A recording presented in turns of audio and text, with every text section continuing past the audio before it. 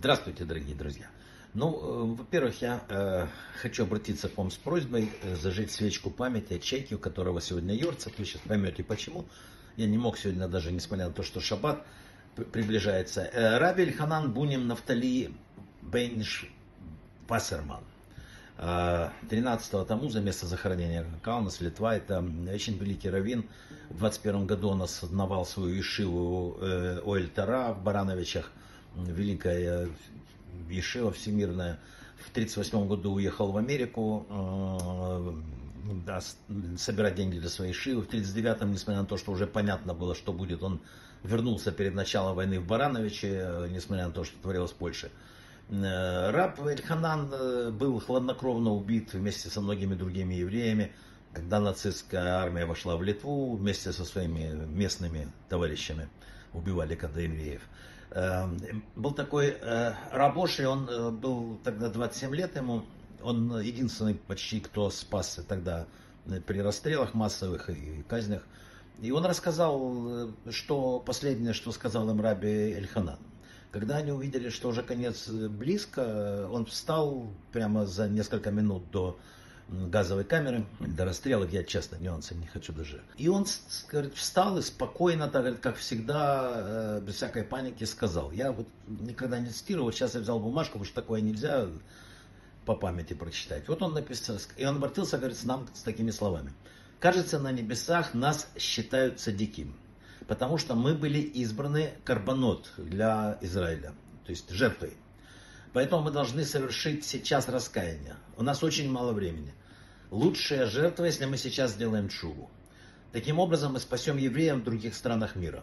И пусть посторонняя мысль сейчас вот не приходит в ваш ум.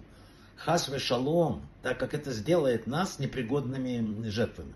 Сейчас мы выполняем великую митцу. Иерусалим был разрушен огнем, и будет восстановлен огнем. Э, тот же самый огонь, который однажды поглотил сегодня наши тела, однажды восстановит план Израиля.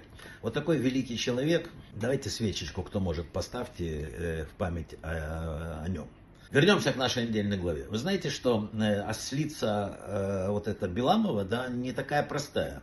Вообще в Торе все непросто. Мы так верхний, верхний слой видим, а, что она сказала Биламу, когда открыл рот? Что я сделала тебе, что ты бил меня три раза? В оригинале написано «Зе шалош регалим». Знакомо? Дословно эти три раза. Но, как сказал Раша, шалош регалим также означает э, три еврейских праздника на святом языке. Песах, Шавот и Сукот, которые евреи, жившие в период храма, покидали свои дома и, невзирая на все сложности, тяготы пути, Э, шли в Иерусалим, чтобы засвидетельствовать свою любовь и уважение к Богу и его законам.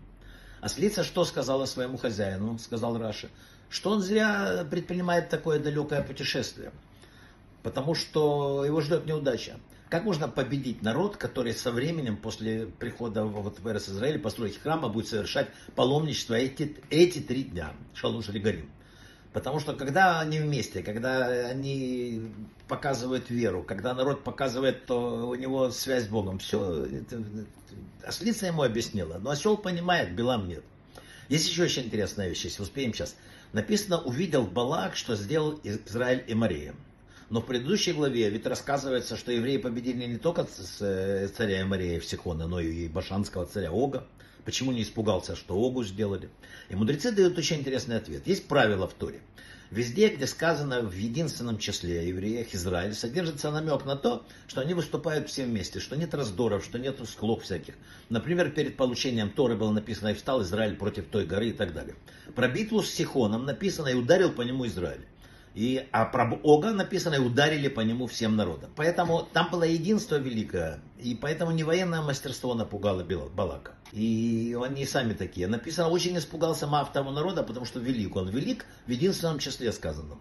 То есть все, чего боялись вот ненавистники, это внутри еврейского единства. И сейчас они этого боятся. Вот это надо вынести из этой недельной главы. Вообще, когда люди говорят, э, как это, ну, слушайте, могу все поверить, но чтобы осел разговаривал, это сказки то один раввин сказал очень интересно, я вообще не вижу здесь никакого чуда, когда к нему обратились прихожане.